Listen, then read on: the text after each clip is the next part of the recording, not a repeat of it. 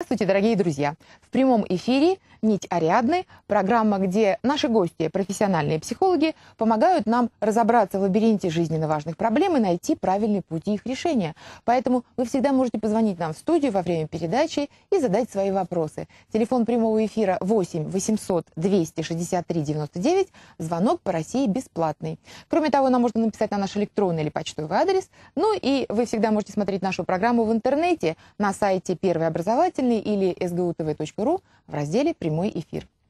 Итак, еще в средние века было замечено, что продолжительность жизни горожан меньше, чем у сельских жителей. Неужели дело только в свежем сельском воздухе? Ну, конечно же, нет. Специалисты утверждают, что кроме свежего воздуха, еще и окружающий ландшафт может оказывать различные воздействия на психоэмоциональное состояние человека. Созерца... Созерцание красот природы стимулирует жизненный тонус и успокаивает нервную систему, оказывает сильный оздоровительный эффект. Вопросами влияния окружающей природы на психику человека занимается ландшафтотерапия.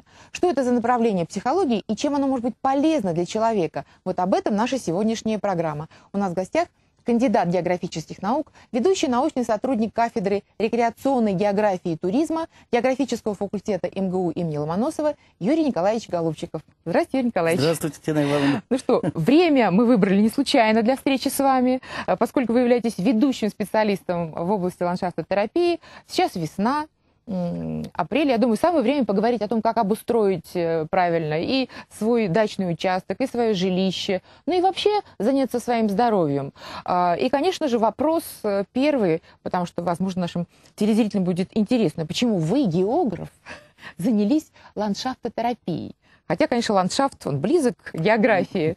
Знаете, Почему? ландшафт с глубокой древности использовался как некая целебная часть. Ведь всем известно целительное Э, целительное свойство прогулок по свежему воздуху, угу. созерцание движущихся вод, бегущих облаков, колыхание ветвей на легком ветру. Угу. Это испокон веков э, считалось оздоровительной такой процедурой. Еще недавно, сто лет назад, бросайте все и езжайте в природу, говорил врач своим пациентам.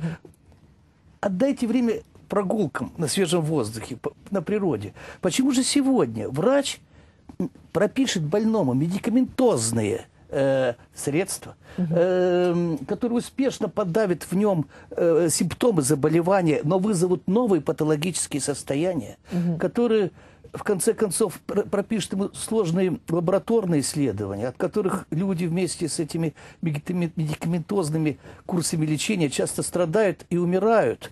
Угу. Э, психические заболевания начнет лечить электрошоком, угу. э, каким-то гипнозом, каким-то наркотиком тропическими какими-то э, ну, вот, э, средствами. Ну, тоже лекарствами. Да, лекарственные. лекарствами опять да. Чтобы убрать ту же самую депрессию, да, например, да, да. да? Хотя ту же самую депрессию э, легко убрать э, ведь э, эффектами горячей бани, эффектами прогулки. Ведь каждый ландшафт несет в себе очень все неделимые царства природы в едином каком-то порыве на нас воздействуют во время этой прогулки. И рельеф, и песок, и грунт, и вода, и воздух, и, ну, ну, ну, и биоразнообразие. И, все воздействует это, человека. Да, все это да. имеет целительную силу. Э, Просто таблетка это быстрее, универсальнее, и вот сразу. А... И гораздо опаснее. Потому что, опять-таки, она вызывает патологические изменения. Всегда есть какие-то побочные действия, э, от которых трудно избавиться, привыкание к ним. Вся медицина, видите, она оказалась построенной на химии, в меньшей степени на физике. Физиотерапия у нас гораздо меньше, чем химия э, средств медикаментозных. Э, очень узко, она очень заузилась, и она продолжает заужаться. Ну, например, курорт – курортотерапия, целая да, наука Это есть. часть ландшафтотерапии, кстати. Да, да? забыто, забыто уже, что в переводе с немецкого курорт – это лечение местом, лечение mm-hmm. ландшафтов, mm-hmm. лечение ландшафтом. Mm-hmm. Кур – курс лечения, mm-hmm. орт – место. Mm-hmm. И это лечение как бы местом переводе, это подзабыто. У нас теперь курорты различаются, вот, климатические, э, бальнеологические, э, вод, э, грязелечебные, там что-то еще. Вот. Но лечит-то ландшафт – и mm-hmm. только он может в совокупности силу грязи, допустим, целе, угу. целебные усилить или ослабить. Угу. Э, нельзя э, вот просто гря- на пить, грязи. допустим, да, ту же самую лечебную воду, воду да, да, да? да? Нельзя просто в Минводы ездить и пить воду Ессентуки и считать, что это вы вылечите. Да, у нас эта вода нет, продается нет, в магазинах, так ведь, есть, да? Можно купить. Имеет значение вот все это горное окружение низкогорное, угу. э, рудные тела, особые такие какие-то угу. э, сочетания гранитных и известняковых пород. Все это имеет, леса на склонах. Все это лечит. То есть это, это все в комплексе, да? да? да, да. Вот недаром многие ученые, философы и психологи отмечают также еще и загадочные связи между характером местности и нравами проживающего там э, народа, да? Вот э, это такой психологический факт, э, который всегда служил, скажем так, вот, ориентиром для выбора как раз тех мест э, для лечения людей. А как, собственно говоря, ландшафт влияет на человека? Вот мы говорим, что можно оздоровиться ландшафтом, ландшафтом, но и проживая в какой-то местности э, долгое время, человек приобретает характер, да, формирует свой характер, исходя из особенностей этой местности. Да, мы говорим о национальном характере. Да, а национальный да. характер, он определяется климатом, почвой, угу, угу. Э, рельефом местности, почвой. Угу. И э, всем ландшафтом обретается национальный характер. Есть характер степного человека, да? который ну, склонен пожалуй, к широте, к удали. Он открытый, да, степь, да, она же вся открытая, и человек ну, открытый. Да? Ну и вместе с тем э, к некоторой такой удали, э, может быть, даже такой э, кочевой подвижни, э, подвижнической э, активности.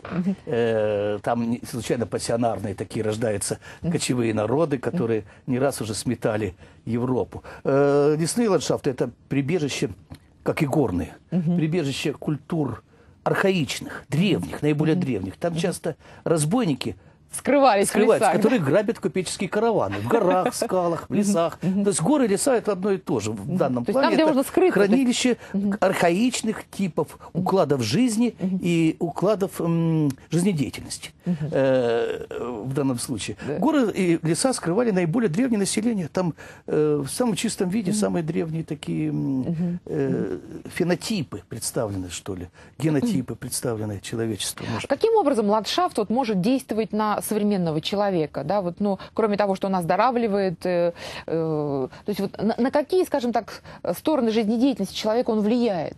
На что? Ну, я думаю, на, все, на, на все стороны. Ведь он же, э, ландшафт влияет целостно, всеми своими звуками, фибрами, запахами, э, на всю нашу на всю нашу сенсорику, на всю нашу эманации и все наши вибрации. И все они вступают с ландшафтом в сложнейшее сочетание, которое абсолютно не изучено. На сегодняшний день ландшафтной терапии нет ни монографического описания, ни учебного пособия, отдельные разрозненные статейки, что у нас, что за рубежом. Во всяком случае, мне они неизвестны.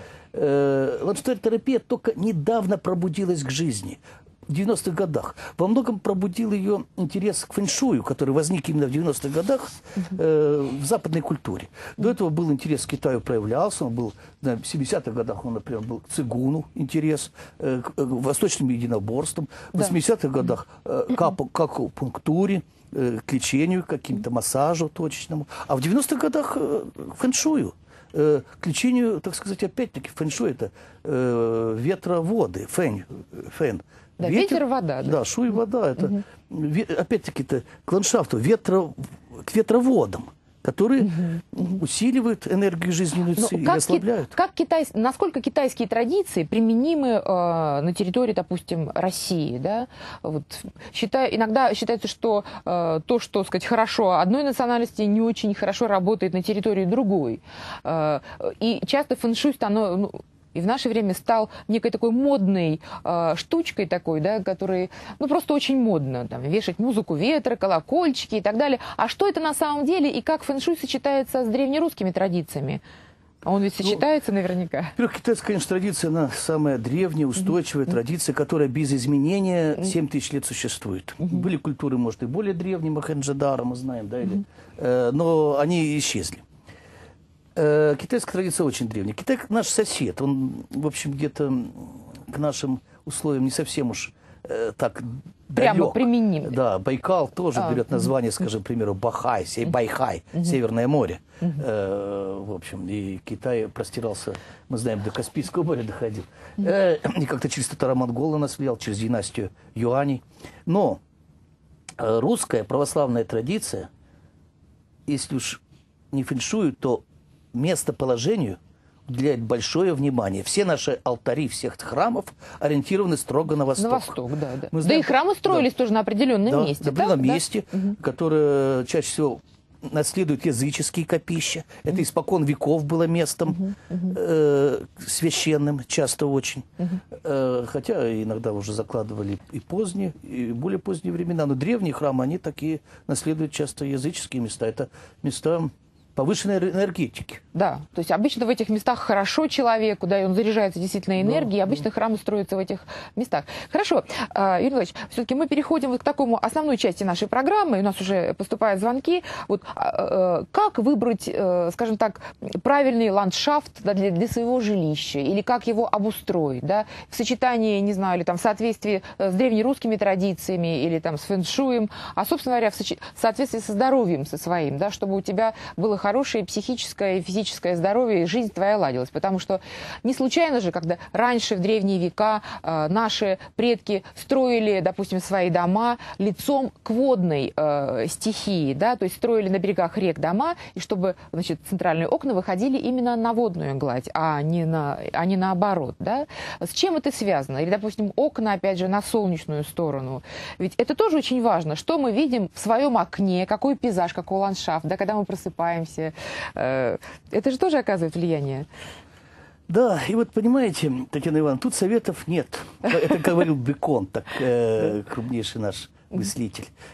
Лучший советчик тут сам человек, его интуиция. Ага. Самому понимать, что такое к тебе хорошо, а что такое тебе плохо, это самое верное средство избежать болезней любых и утраты энергии. Э, И для этого, для этого у нас есть такой прибор уникальный, самозаписывающий, самопознающий, самочувствующий, как человеческий организм, который, точнее любого термометра, любого барометра, даст вам точный ответ, где хорошо, где плохо. Стоит только неделю попрактиковаться и прислушаться к своей интуиции. У нас же эту интуицию не развивают ни в школе, нигде у нас ее давят. Всю жизнь вам доверили эту интуицию. И вот неделю понаблюдать ее, и вы раскрываетесь. Совершенно иначе. Вы начинаете чувствовать, это ваше место. Здесь вам хорошо, здесь вам хорошо дышится, здесь легко э, чувствуется, э, здесь тело ощущения хорошие воспринимает. А вот из других мест невольно хочется уйти. Так там неуютно и плохо. И если вы, допустим, приобретаете дом, серьезная покупка, коттедж, Да. если уже построенный дом, то потратьте небольшие деньги, попросите э, дома продавца разрешение переночевать пару ночей в этом месте, провести. Если вам спится здесь хорошо, еще попробовать надо в разных местах кровать поставить. Так. Если вам здесь м, хорошие сновидения, отдохновение, то смело приобретайте. Если нет, ну, тогда... И, и, ну, не только это. Надо, конечно, все воспринимать, не просто поспали. Посмотрите на людей окружающих. Хорошие люди, открытые лица. Или люди, как часто у нас бывает, мрачные, э, подавленные чем-то. Если это далеко от Москвы, Да. сходите на кладбище. Посмотрите среднюю продолжительность жизни.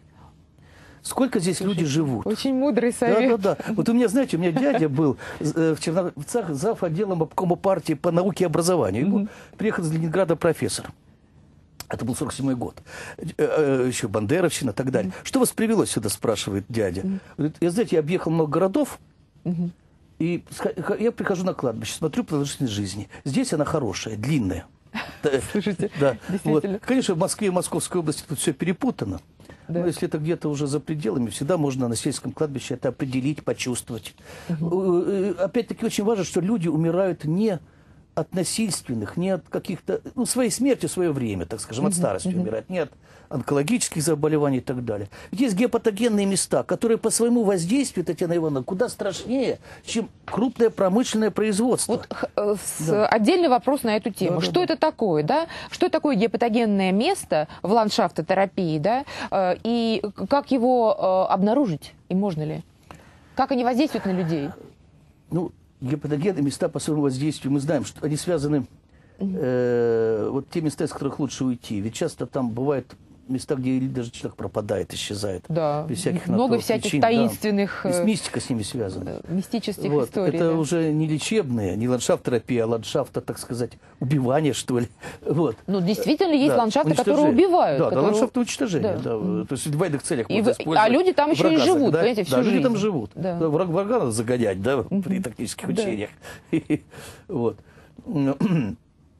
Но, э, знаете, это места, с чем они связаны? Это трудно понять. Трудно понять. Связывают их с геологическими неоднородностями, пустотами, провалами, многоэтажными водными потоками, местами их пересечений, пустотами подземные. В основном связывают э, с геологическими неоднородностями. Но дело не в геологических неоднородностях скорее, а дело в излучениях. Таинственный мир излучений нам едва понят. Мы из невидимых излучений знаем э, только лишь немногие.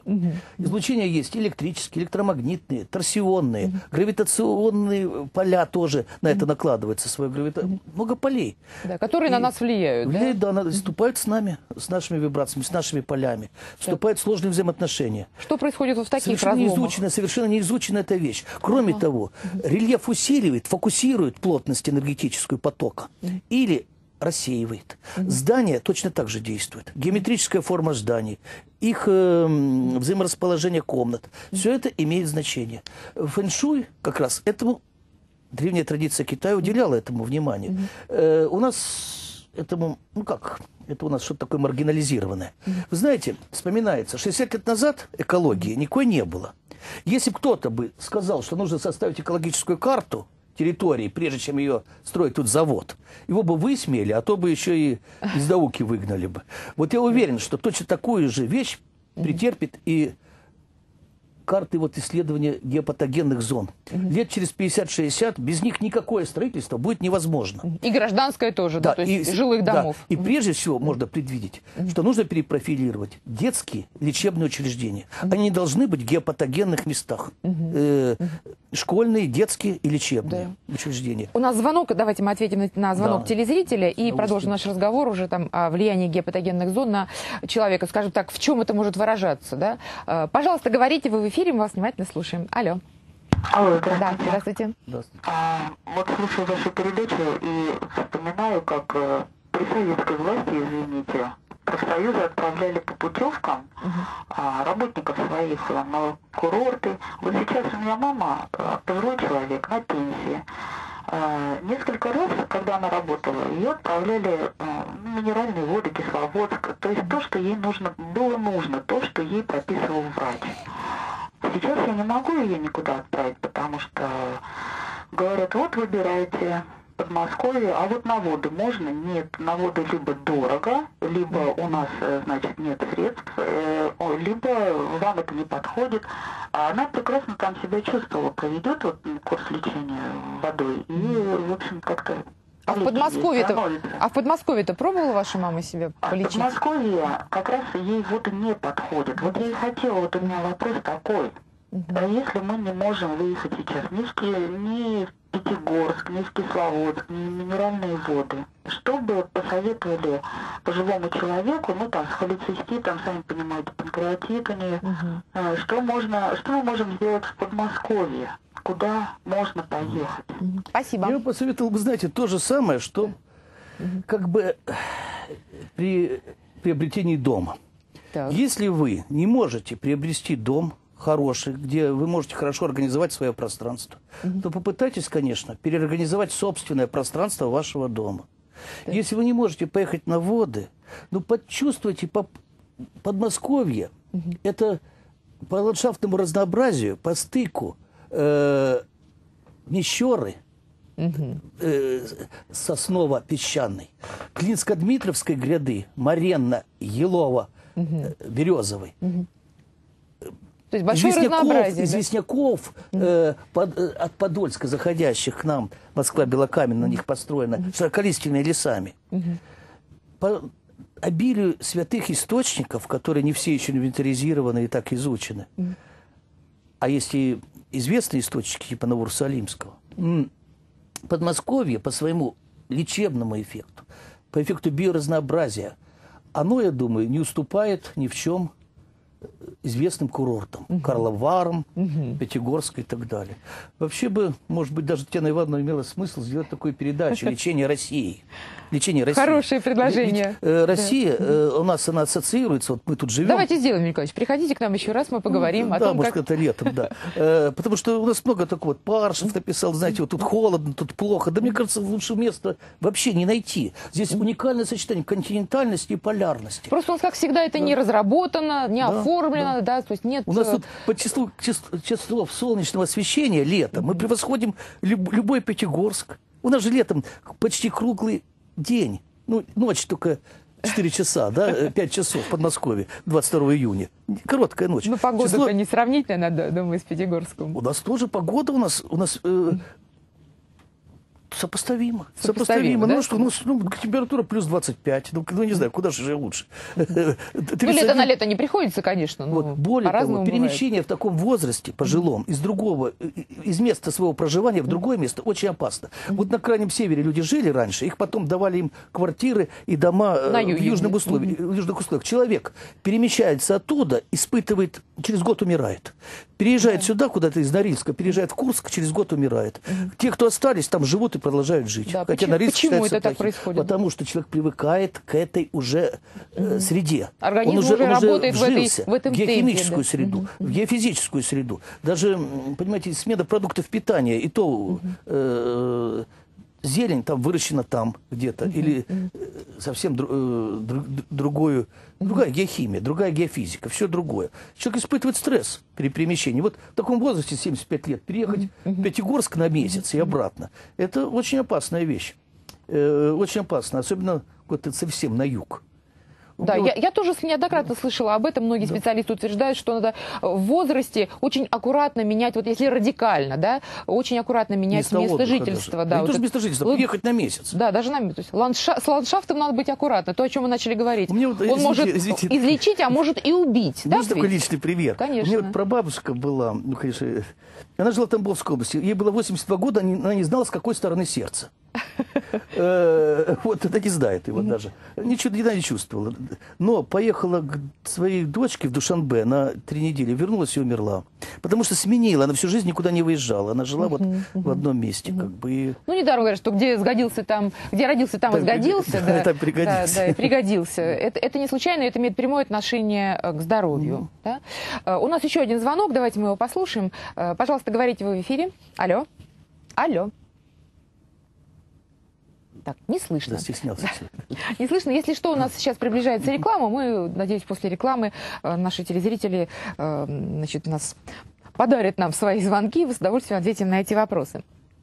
Итак, э, Юрий Николаевич, тогда переходим вот, вот городской ландшафт, да? Что это такое и как он воздействует на человека? Вот его воздействие, это хорошо или плохо? Понятно, что, наверное, город городу рознь все-таки. Да, я думаю, знаете, тут... Смотри, какой город, действительно, как вы правильно сказали. Смотри, какой город. Я думаю, наши города плохо воздействуют, российские. У нас очень хорошая природа. Я люблю, конечно, Россию, большой патриот ее. Но города у нас Не предназначены не- для, не отдыха, здорового не образа для, жизни. Не для отдыха наших. У нас природа э, блестящая. Понимаете, если народ, каждое поколение сносит памятники предшествующего поколения, то тут что-то не то будет. А что происходит вообще, вот, когда мы как мы бы все время обновляем сносим, мы все время, города? понимаете, мы все время строим, перестраиваем. У нас Москва была радиально такой лучевой структуры, э, кольцевой, э, радиально-кольцевой структуры. Придумана была Брюсом эта структура, крупнейшим астрологом. Э, это некоторое Так. подобие звездного То неба. это астролог да, да, да, Брюс, ну, Брюсов переулок, мы знаем, Да, даже да, в да, честь его, да. да. Мгм. Вот. И вот эта вот вся структура, э, она была как-то вот Изломано и Особенно, нарушено. особенно би- биоэнергетически сильная. Здесь все обретало сильную энергетику. И вот это все ломается, рушится, воздру- вооружа- сооружаются другие здания. А ведь та биоэнергетика остается, особенно в этой радиально-кольцевой структуре такой сложной, где все... Ничего менять нельзя, пожалуйста. Мы должны сейчас прерваться на несколько Да. минут. Очень интересно, да? Э, Поговорим об этом. Дорогие друзья, не переключайтесь, готовьте свои вопросы. Сегодня мы говорим о ландшафтотерапии, где нам хорошо и приятно жить. Счастливо, удобно и здорово. Э, До встречи через несколько минут.